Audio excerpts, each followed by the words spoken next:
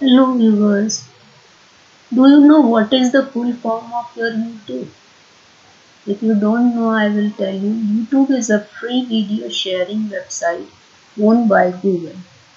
The name YouTube is said to be derived from your from you, which means you from the fact that the video came from you. And the tube means a television cathode ray tube. So this is all about the YouTube.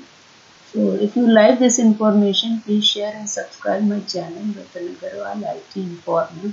Follow my all social media link and go to the uh, telegram channel Tech Ratan. Thank you.